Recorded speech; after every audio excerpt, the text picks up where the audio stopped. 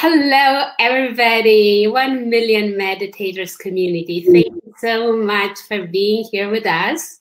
I have the pleasure of interviewing Jill Marie Jordan today. She is a sound therapist, an author, and the producer of Movement for Peace. Hi, Jill. Hi. Hi, everybody. Thanks for having me, Anita. Jill, as we decided, we I haven't sent you any questions, so this is a conversation between two friends in in your living room in my office. So I I want you to just share your beautiful movement and your journey with meditation and how you got into sound therapy and most of all how how does sound help us raise consciousness uh, help humanity and heal ourselves and the planet? Wow. Yes. Thank you. All great questions. And um, i started getting into this work into meditation to to create peace in my own life to overcome a lot of suffering, a lot of pain, uh, grief, and um, physical pain, and all kinds of things that, you know, started to take me down. And i just knew that there was ways that people face difficult situations and they overcome it. And they not only overcome but they become successful and have a loving life. And i wanted to learn how to do that. I didn't have that example in my family growing up but um, i knew there was a way. Like oprah was an example. How you know mm-hmm. here's that was abused all her life and and now I'm the most powerful woman on the planet helping everyone and so i began to find ways to relax my own body, to find peace within my own body and in my mind as well. And then began to learn different types of meditation. Um, one thing that has always stood out for me is I have very sensitive sound. I have a um, what they call um, sensory processing dysfunction, but I prefer to say that it's more of a, a gift than a disorder, which is what I've been told. But it's a part of the brain that um, affects the incoming stimuli. So all of the mm-hmm. sensory stuff. And for me in particular, it's hearing. My my hearing is super super sonic, and um, so used to cause. Me- well, uh, I uh, I'm really curious. I've never heard about this so-called disorder but i've noticed that i'm very sensitive to sound too. So how does it uh, how did it manifest or how does it affect you? Well um what happens in the it, when that part of the brain is overstimulated it well the, the brain is receiving all the information the sound the tactile taste smell vision all mm-hmm. of the sensory things and the brain's trying to process everything that's happening all at the same time so what can happen then is like insomnia agitation anxiety um, um, attention deficit um, mm-hmm. fatigue all of these things, because the brain's constantly working too hard. And so um, when I started learning about this, and my daughter also um, experienced it, and that's kind of how I figured out what was going on. And um, so I began to learn to relax the mind. And then when I went to someone else's sound healing class, the first time I tried it, I had to leave. It was way too much for me. And, I, and then I tried it again, and I had this deep relaxation and this interdimensional shift that took me to a place of complete peace like heaven you know? And i thought i, I have to learn how to do this. This this is going to have to be my job because it was the most glorious experience i've ever had in my body and and out of my body. So um wow.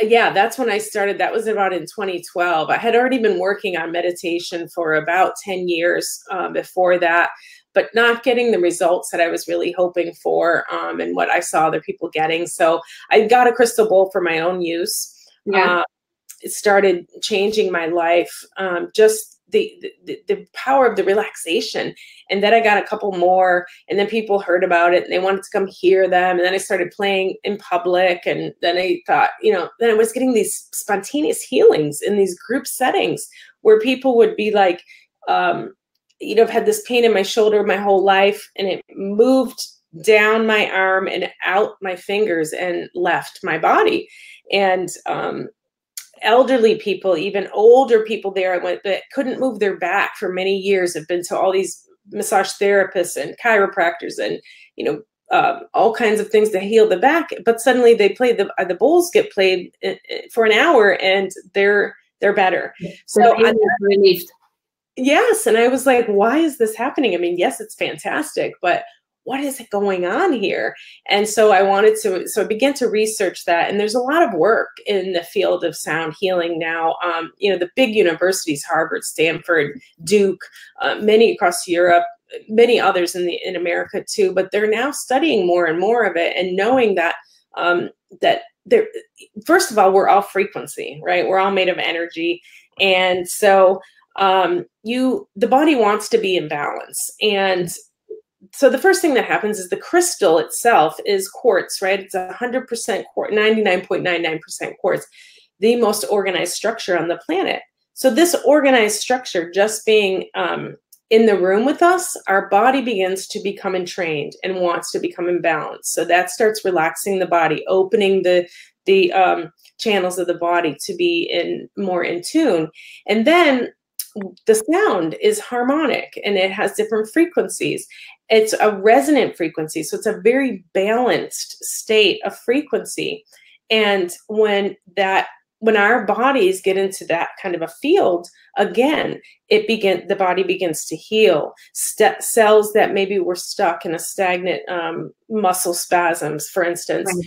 may begin to break apart and that begins to happen the body starts to relax. The body knows how to heal. We've just got to kind of help it to relax because we're so exposed to so many things that take the body out of balance.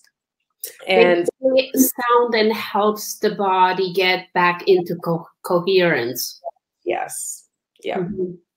So the more I learned about frequency and how this was benefiting our our bodies and why we were healing and why we were feeling better, um, it also began to show how you know it balances the brain waves and it can take you deeply into a meditative state um, to to stimulate that um, connection to the divine or to the universe or to the oneness of everything that zero point field that akash you know there's multiple names for it but it's basically that that field that we're all in and right. then um, when we started the movement for peace about three years ago, you know, we incorporated the the uh, the labyrinth, which is um, an energy. You know, they walk a labyrinth, and sound, and um, the energy of the divine feminine, also it, through Mary Magdalene, and we gathered people from all over the world to do these meditations together. And as that movement began to grow, uh, we started divinely synchronistically you know meeting more people like you and like um, rory duff who's a geobiologist the planet's leading geobiologist. He measures the sounds of the planet and how they affect us and um, also how we affect our planet and our you know as humans as living matter. And um, so then i started learning about the frequency of the planet and our frequency and how we all you know definitely play a part into that. That's why the 1 million meditators praying for loving ourselves and loving our planet is a huge and successful movement every day, every day, every day that it gets bigger, every day that someone logs on, every day that someone, you know, participates makes it is creating a healing frequency for ourselves and our planet. And that is because, yes, we're holding the same intention to feel love for ourselves and the planet during uh, 15 minutes meditations. But can you explain a little bit more for our audience how holding an intention, whether you meditate or you pray, especially since uh, since you had um, the opportunity to to collaborate with this uh, renowned biologist. How does that actually scientifically influence the the electromagnetic vibration of the planet? Well, it's because we uh, because we are frequency and our planet um, is frequency. And there's actually certain times of the year. Next Sunday is a really big one of the one of the four biggest days of the year. So I'm glad we're doing our big, you know, stuff that day.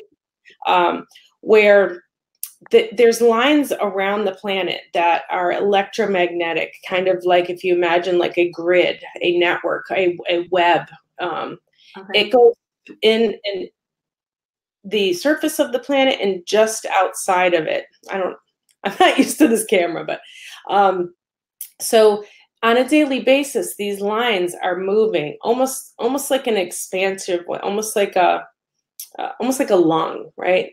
Okay. It, these these energy things are moving different times of the year they open up and they allow more light to come in more um there's there's days that we can get more positive electromagnetic rays that can help our planet and there's some days that way we were not getting uh, harmonious energy in uh, but on those days where this uh, this grid is kind of opening up and allowing more light to come in and we participate through a 10 minute uh, you know 10 20 30 whatever it is but a 10 minutes all we really need intention of our energy in a group especially um, and that we're learning a lot about that through lynne mctaggart and mm-hmm. her intention experiments um, but for some some you know i don't know the science as well as rory can explain it but our connection and our collective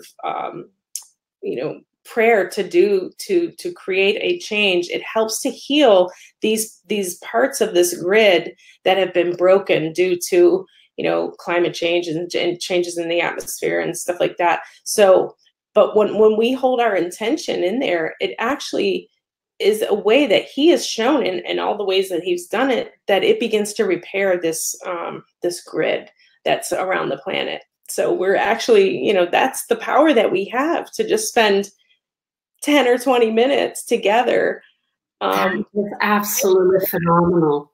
How did how did the movement uh, for peace come to be whose inspiration where did the inspiration come from well, it was Shannon Anderson and I. She's a friend of mine, and um, we had met a few years ago, and then we we kind of stayed in touch or whatever. And I texted her one night, and I was like, "Hey, did you hear about this portal opening? You know, I listen to astrology, and there's stuff out there, and I was like, I'm going to take advantage of this. I don't really know if it's all real or not, but like, I like to take advantage of it if there's a possibility." She's like, "I don't know, come over."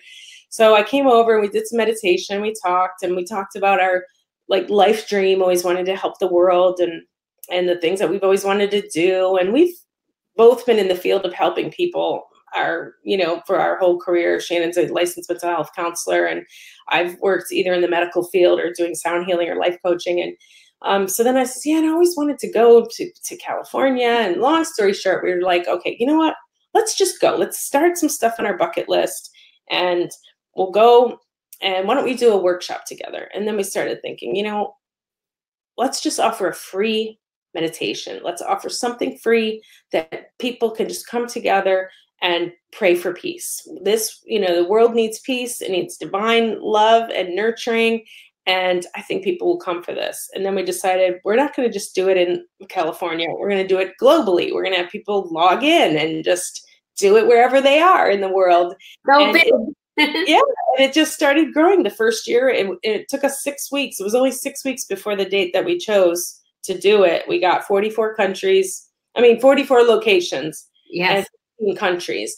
Yeah. And um, so we were really excited, like, okay, people are really going to do this. And that year, everyone walked a labyrinth, even if it was on a paper labyrinth with your eye, because um, a labyrinth has a very powerful energy cycle that can help your frequency and you can feel the difference you can mm-hmm. start, uh, you know a labyrinth and and have a different coming out so it that started growing and then the more we learned about frequency about collective consciousness about collective meditation um, i just my one, my first degree was in film production so i was like we should just make a documentary explaining this because it got so complicated but it's simple but complicated because we got this geobiologist and all this science and then we have our quantum physicist and you know i'm trying to have, wrap my head around it in a way that i can teach people like yeah. wow why this is working because we are all one we are in this field and this is how the earth's frequency and this is our frequency and so we just I started shooting little videos and then we decided, you know, we're going to do a full feature documentary. So that will be out next year. and I have massive amounts of editing, and it's still more to interview. So I don't have a lot of it to share right now. But you do, you do have a, a trailer that I've watched, and that is on your Facebook page, with yeah in the description. So I encourage everybody to watch that trailer. You're literally gonna feel your whole body buzzing. Thank you. Thank you. Yeah. And there's so much more since that trailer because that was leading up to that cosmic alignment that we in the pilgrimage that we took. And but now we have footage from Lynne McTaggart, the, the world's leading intention experiment journalist and um, scientist, and then Rory Duff, who's the geobiologist. And then we're going next month to meet um, Freddie Silva, who's an expert on sacred sites and um, crop circles and the ancient history that's been covered up and how it relates to our current consciousness. So I feel like his interview is going to kind of pull a lot of this all into, you know, a good cohesive story for us. Talking about sacred sites, you just came back, well, a few weeks back, you came back from Europe. Share what was um, out of all the sacred sites that you visited, what was the the biggest aha or epiphany or something you feel inspired you to to keep walking this path? Well, we went to a a chapel in the south of France called Montsaunès, and it is a very little known chapel. It's a Knights Templar chapel, and on the ceiling of this chapel are all these diagrams of sound frequency. Oh, I've seen the pictures. Yeah. yeah. yeah. And so we spent a couple hours there. We actually got a key to it and we're able to spend a couple hours there by ourselves and experience the energy. It was like it, it was like being lifted in in in into the highest meditative, glorious, heavenly state. Just feeling so loved, feeling just eh, like high. I mean, I only naturally.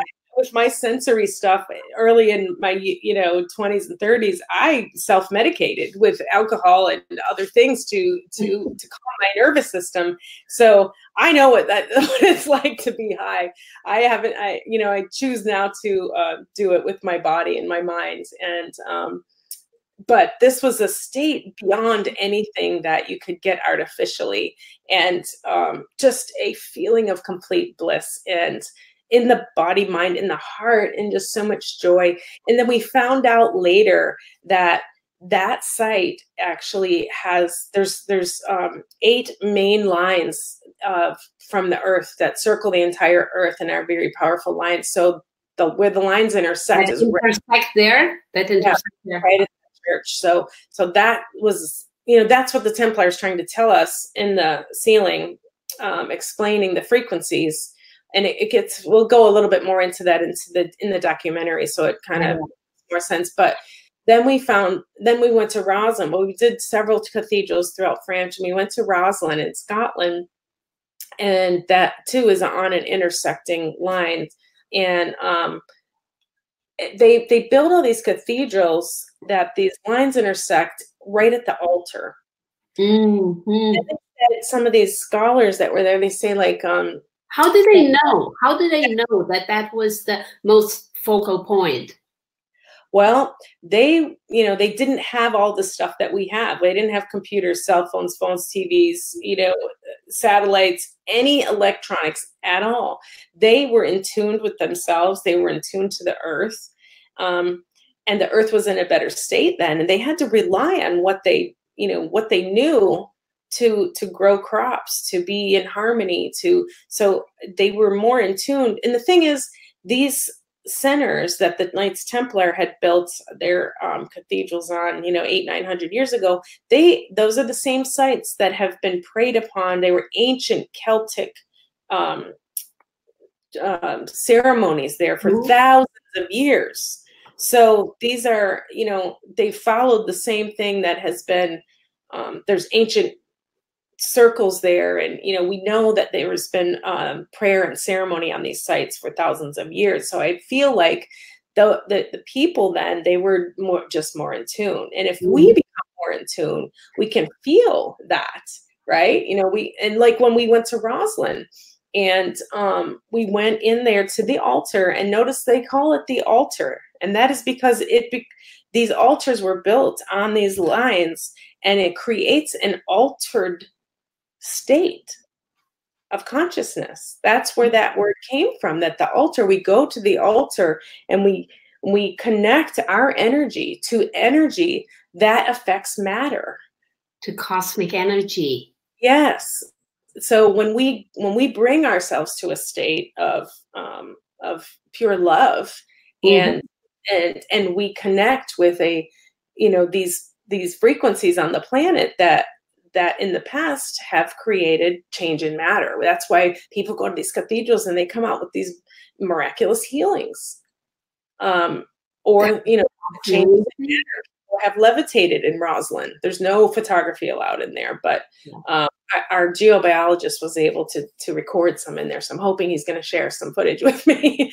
but um, um do you do you feel I don't know, maybe it's just me, but and just in the last couple of months, I've uh, had the honor to meet so many uh, spiritual activists and leaders of movements like yourself. And to me, although I know the news is all bleak, but I really feel that humanity is stepping into a new era of consciousness. Is that just me, or or how do you feel about this? I completely agree with that. That, and I just said this on another interview I did yesterday was that, you know, it, people will go out there and look at the world and say it's falling apart, it needs help. And, I, you know, I'm not going to argue with that, but I don't, what I see in the world is everybody awakening. I see people coming together. I see people wanting to heal, wanting to help one another, people that are willing to give. Yes. Just for sake of giving. And when we look at the studies that Lynne McTaggart has done um, with what she calls the rebound effect, or um, when when you do for someone else or for the world or anything without anything in return, um, just for the the you know that altruistic um, intention to help someone, the rebound effect is that everyone you are participating you get more peace you get more love.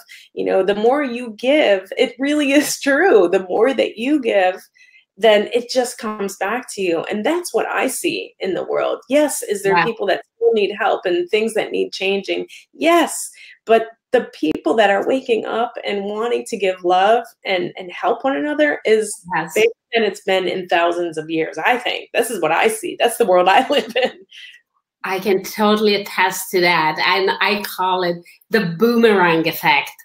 Yeah. We, we, seriously, we started 1 million meditators just two years ago. We had five ambassadors, five live stream meditations. Uh, and in next week, uh, thank you for joining us. You're going to be doing your first live stream meditation as a 1 million meditators ambassador. So in only two years, we have now 100 live stream meditations. Yeah, that's so awesome. 44 ambassadors in nine languages from 13 countries it's just phenomenal. Like, forget about the numbers, but just all of these happenstances, synchronicities, the way the two of us met and like right away clicked. And now here comes the boomerang effect that I've noticed in my life. Uh, health and abundance and and living in Italy and all of these beautiful, magical, miraculous things that are happening in my own personal life. And I go like, thank you, thank you, thank you. And a friend of mine said, Anita, but you give so much. And this is the key. This is the key hmm. You know our, our grandparents that were so in tune with nature and loving their animals they would first give you would go to a market they would first give you a taste taste this taste this and taste this yeah and the moment people get back to to first giving and then asking that's or not even asking at all just giving and the universe showers you with gifts. Yes. I'm, I am sorry, I get so carried away about generosity. Yeah. So the uh, your film is coming out next year, right? Yes. But do you also do uh, sound uh, therapies um, online, or how how can uh, one million meditators, followers, viewers, listeners get in touch with you to join the movement, to find out about when the film will be released, or to participate in in sound healings? Yes, so um, we have movementforpeace.net, and that's our website for the Movement for Peace. You can email me there, or we can um, also have Jill Jordan Sound Healing.com. Um, and both of those are Facebook pages as well. And um, so I'm starting to build the my YouTube channel. So there's some um, sound healing stuff there and um, of course there's live events that i do all over um, so those events can be found on the jill jordan sound Hit living page or the uh, peace movement awakening is the tag for our facebook page mm-hmm. um, yep and um, but the qu- question still remains if somebody in australia or well, you're in the us i'm in canada sound sound healing is it as effective in person as over uh, some sort of media like skype or whatever? Uh, yeah it definitely it definitely can be and it can even be from a pre-recorded you know um, youtube video or or facebook video um, the harmonics are still going to be encoded into the frequency, right? Of course there are, because there are, I remember now, there are all of those solfeggio frequencies. What is the highest frequency? And obviously they don't need to be live. You can right. have them. Oh, yeah, yeah, yeah. Okay. That makes yeah. sense. I'm going to start doing some of the uh, binaural beats um, recording. Good, with binaural beats. Yeah, and you wear the headphones, and it creates, um, it sends a different tone into each ear so that the brain then be, um, creates the difference between the tones, which will help balance the brain and um, stimulate healing in different parts or sleep or whatever the, that video happens to be for. I read about binaural beats, but I heard that it's a very complicated technology behind uh, do you do you think so? We usually use the three one million meditators meditation tracks. Mm. Can we add binaural beats to those? Yes, I think we can. I'm just starting to learn about that, but I'll mm-hmm. I'll share with you the the sites that are looking like I'm going to be the ones. Those are going to be the ones I'm going to use to help me. Okay, yeah. thank you so much everybody who's on this live broadcast or watching the replay, please share it on your walls and all of your social media. Let's get the word out. Let's raise consciousness and help our beautiful blue planet thrive again. Yeah, thank you. Thank you so much, Jill. This was so much fun. Thank you so much. Can't wait to meditate with you. When is your, when are you going to stream your 1 million meditators meditation? Uh, this Saturday, the 21st at 6.30. Okay, so that's dedicated to International Peace Day, creating inner peace to outer peace. Yes, yes. Thank, Thank you, Lau. This was so much fun. Thank you so Bye. much. Bye.